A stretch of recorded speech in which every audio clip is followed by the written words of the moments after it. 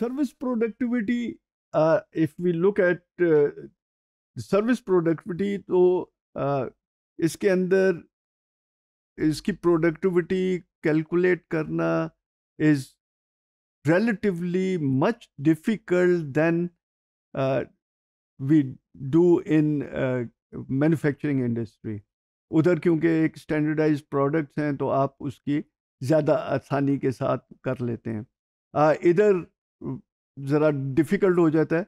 All दो हमने example पीछे की है that was from service industry but इधर ज़रा थोड़ी सी डिफ़िकल्ट हो जाती है क्योंकि इसके अंदर अगर स्टैंडर्डाइज प्रोडक्ट नहीं है titles let's say are more or less standardize but अगर स्टैंडर्डाइज नहीं है तो उसके अंदर जैसे मैंने बताया था कि डॉक्टर जो है, वो किसी मरीज़ के साथ पाँच मिनट में उसको वो उसका वो बीमारी वगैरह को समझ लेगा और उसकी प्रिस्क्रिप्शन दे देगा और किसी केस के अंदर वो बीस मिनट लेगा, आधा घंटा लेगा, ज़्यादा टाइम लगेगा। तो वो उसकी वजह से प्रोडक्टिविटी जो है, फिर वो हम एवरेज के अंदर चले जाएँगे और उसको इतना हम ज़्यादा बेहतर तरीके से नहीं एवेलुएट कर सकते। सर्विस को अगर हम देखें तो it constitutes largest economic sector 1900 के बाद ये बड़ी तेज़ी के साथ इंक्रीज हुआ है और अब दुनिया में it has become the largest economic sector it is more than agriculture more than manufacturing this service industry it is labour intensive automation इसके लिए बड़ी डिफ़िकल्ट है। ऑटोमेशन uh, कर करना मुश्किल होता है। तो इट इज़ लेबर इंटेंसिव आपको ये इधर बहुत ज़्यादा वर्कर्स नज़र आएँगे।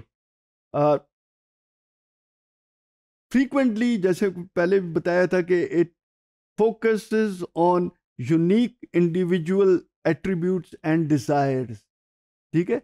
उसके जो हर एक का एट्रीब्यूट और डिज़ायर डिफरेंट होता है और उसके लिए सर्विस जो है प्रोवाइड की जा रही है वो डिफरेंट नोयत की होगी। तो उसकी वजह से इसके अंदर प्रोडक्टिविटी में फ़र्क आ जाएगा सर्विस इंडस्ट्री के अंदर। ऑल दो सेम वो क्या कहते हैं फर्म के अंदर काम हो रहा है, लेकिन इंडिविजुअल्स की वजह से उसके अंदर ठीक ठाक चेंजेस आ जाएँगे। इंटेलेक्चुअल टास्क ज़्यादा परफॉर्म किया जाता है by professionals for example universities के अंदर टीचर्स वगैरह प्रोवाइड कर रहे होते हैं सर्विस। डॉक्टर्स हॉस्पिटल के अंदर कर रहे होते हैं and so on so forth. तो usually it is the task is intellectual नोयत का होता है और इसको परफॉर्म जो करते हैं वो ज़्यादातर प्रोफेशनल्स होते हैं जो कि परफॉर्म कर रहे होते हैं। It is difficult to automate और इसी वजह से इसकी प्रोडक्टिविटी भी मेजर करना डिफ़िकल्ट हो जाती है। जहाँ आप ऑटोमेशन ले आए तो उसके अंदर आपका वो जो टास्क है, वो एक ही स्टैंडर्ड का परफॉर्म होगा ऑटोमेशन की वजह से।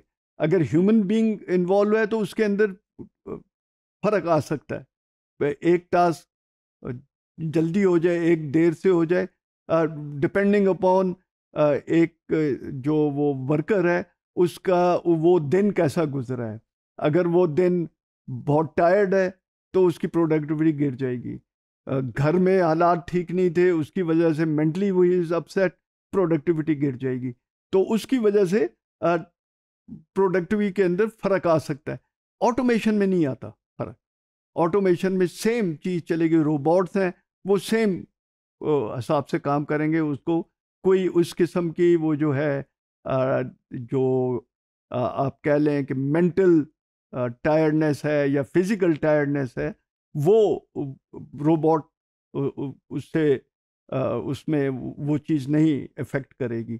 तो उसकी वजह से वो बिल्कुल सेम चीज़ की प्रोडक्शन हो रही होगी। तो इसीलिए ऑटोमेशन नहीं हो सकती तो सर्विस की जो प्रोडक्टिविटी है सर्विस इंडस्ट्री में वो usually different customer to customer different productivity consider होगी।